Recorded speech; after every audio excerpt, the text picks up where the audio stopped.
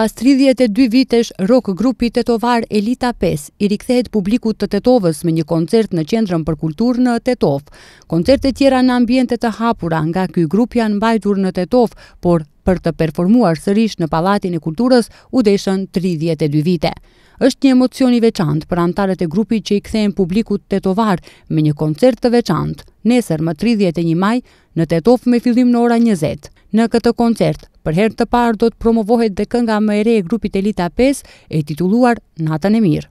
Unë e falemnderoj Qendrës për Kulturë Tetovë që e organizon këtë koncert, faleminderit drejtorit që na ka duruar gjithë këtë periudhë që e kemi maltretuar shumë herë, që kemi kërkuar sendet që na janë nevojitur dhe ai gjithmonë e ka hap telefonin ka qenë i qasur për ne.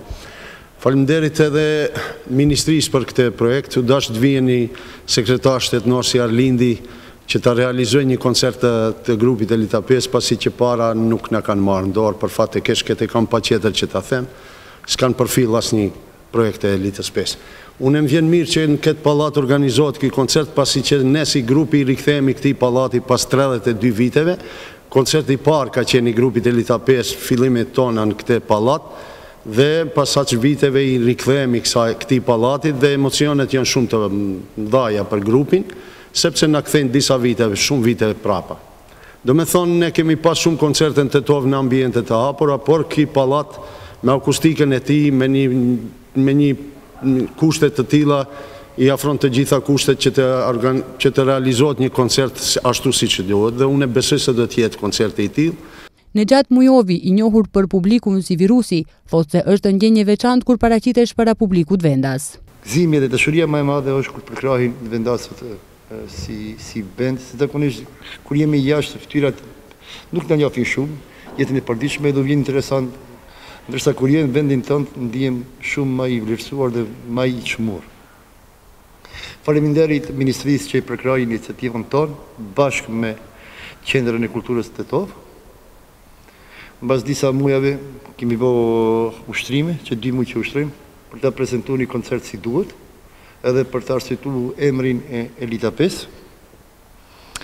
Para një jave diç ma shumë realizum edhe një kongë shumë të mirë me titull Natën e mirë, me shpresë që i kemi përcjellë emocionet e kongës tek publiku dhe s'i kemi zhgënjy ato që na kanë dashtë dhe na përkrahin gjithë kohën.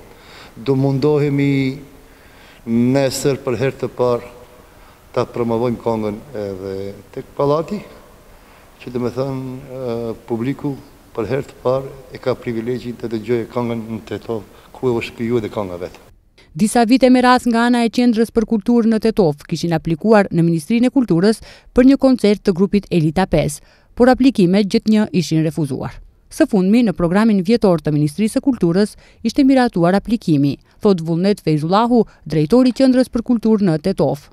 Disa vite radhazi ne kemi konkurru në Ministrinë e Kulturës si projekt bazë me të cilin do të realizojmë në Qendrën e Kulturës, por fatkeqësisht kemi marrë disa herë përgjigje negative dhe këtë vit arritëm që ta kemi pjesë e programit vjetor të Qendrës për Kulturë. E kemi e parapamë që kjo që ky koncert vjetor të realizohet në pjesën e parë të vitit, faktikisht në fund të muajit maj. Dhe ja, jemi një ditë para organizimit të koncertit. Fillimisht desha edhe të, të falemnderoj bashkëpunëtorët e mi, bashkëpunëtorët e Qendrës për Kulturë, Ministrinë e Kulturës për kontributin e dhënë në realizimin e këtij projekti dhe antarët e grupit të cilët gati se dy muaj bashkëpunojnë në mënyrë intensive për t'i arritur qëllimit dhe për të realizuar një koncert mbas më se 30 viteve që nuk është realizuar në Qendrën për Kulturë. Rock grupi nga Tetova, që është i njohur për hite të shumta, është themeluar në vitin 1987 në Tetovë. Elita 5, pa dyshim do të ngelet gjithmonë, grupi më i mirë shqiptar. Këngët e të cilit grup kanë lënë dhe do të lënë gjurmë pas gjithmonë.